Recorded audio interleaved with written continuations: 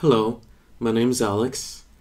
If you happen to know of a neighbor that neglects his pet and you're not too sure what to do, you might want to check out my website, aidapet.info. Thank you.